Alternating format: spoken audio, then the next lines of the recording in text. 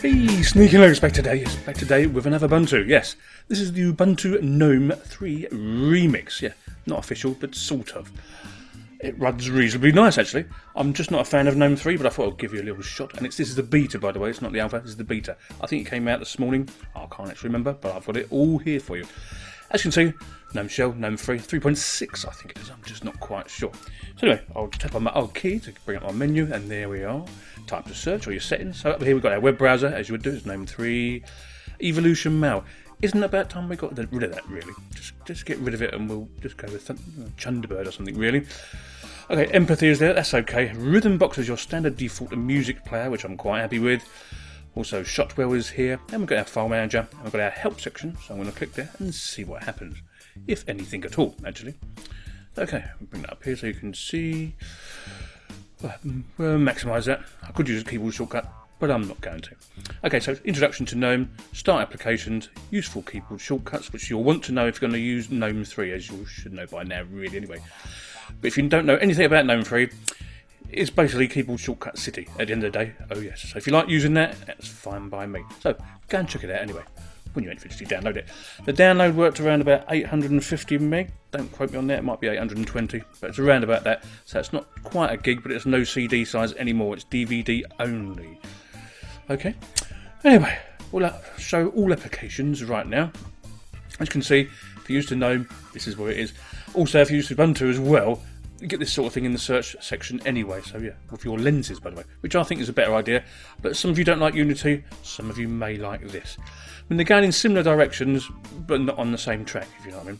So AbiWord is here for some reasons. If I go to Office, just for instance, you don't get no LibreOffice. It's AbiWord and Gnumeric.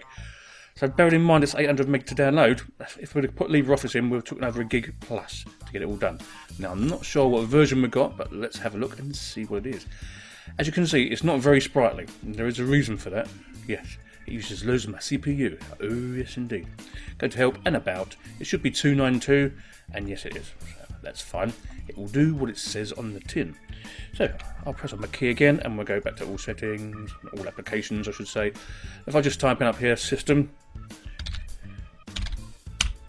Right, we've got our system monitor there, so that's fine, and I'll show you how much CPU we're actually using, which is loads. Can you see that? As soon as I open the system monitor, it even whacks it up even higher. So we're looking at 74 and 80. That's quite a lot, isn't it? So this is not for old machines. This is for brand new machines or ones only six months old, really, because it likes its CPU an awful lot. Now, when you're actually installing, you'll find out that you won't get all your restricted drivers again. Remember, if you've seen my Ubuntu one earlier, you have to go to System Software and Software Centres and stuff like that. So we'll do that, shall we? Okay. If I type in software or soft, and we go to our software sources. Yes, okay. So software sources.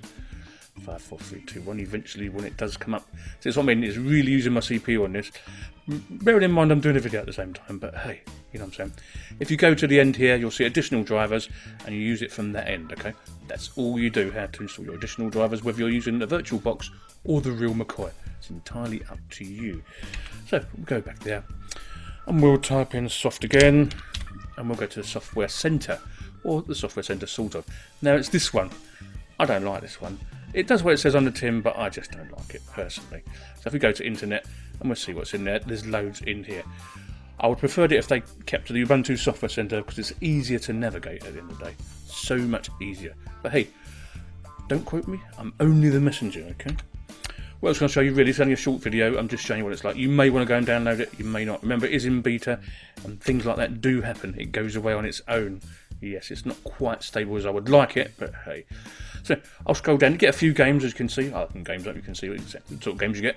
Quite a few more than some others, don't you? Yeah, Tali's here, Robots is here, the usual. If I go to graphics, there is no Gimpy. We get a PDF viewer, an image viewer, Shotwell for your photos, which is fine, and Simple Scan. For your internet, see it's gone again. Not very good. So it's not stable yet, is it, to use? So I would wait, personally, if I was you, until the official release next month. So if I click on internet again, web transmission, Gwibber, empathy, and desktop sharing, which is good by default. I like that. Nice. Okay. If we go to sound and video, and you'll see what we get. You just get Brasero, Cheese, a movie player, Rhythmbox, and the sound recorder, and system tools. Well, quite a lot really. so you broadcast stuff and stuff like that. The main menu, a software earlier, system monitor, a couple of terminals, Xdiagnose when it goes bang, which it will do at the moment if you do download it. You get a tweak tool as well, we'll just see what that's like for you to have a look at, just in case you don't want to download it. So it's just a gnome shell tweaking tool, really, the same as we've got Ubuntu for Unity. There's no difference, really. No, there's not. Now, would I get this myself? No, I don't actually like GNOME 3 personally. I suppose if I was forced to use it, I'd have to get used to it. But because it's so resource hungry and I prefer minimalist stuff like XFCE and LXDE, this isn't something for me. But if you like your bells and whistles, you're going to love this when it becomes stable. Right, as it's a beta, I'm not going to quote it, but if I was going to quote it, I'm afraid it'll only be 72%. Sneaky and Linux out. I see you later. Bye bye.